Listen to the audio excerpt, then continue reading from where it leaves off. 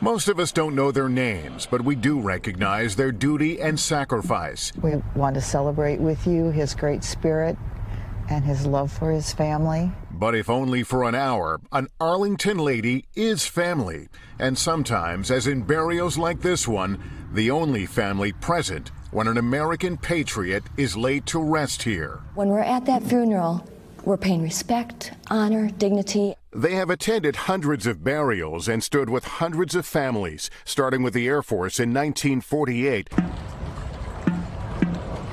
Today, they are part of virtually every Arlington funeral. After the flag is presented, we move forward to the next of kin, usually a spouse, and present the card from the Chief of Staff and also a personal note from the Arlington ladies.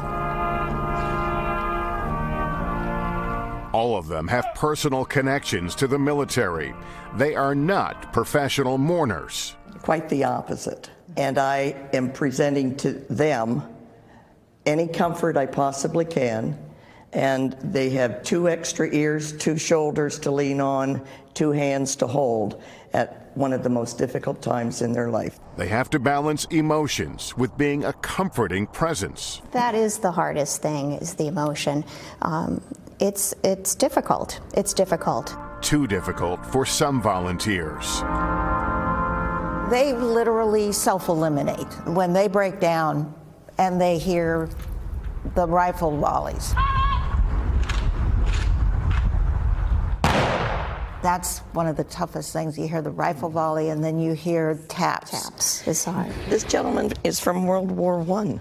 The funerals, a timeline of America's wars. I think we're just about through with the Second World War now. Then there's Korea, and uh, we're into Korea. No matter when or how they served, they can know this. The idea is that no one here is buried alone. That's, That's correct. That's exactly right.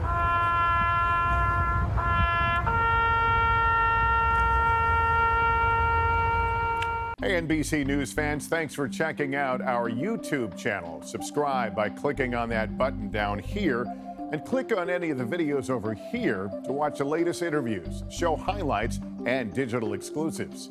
Thanks for watching.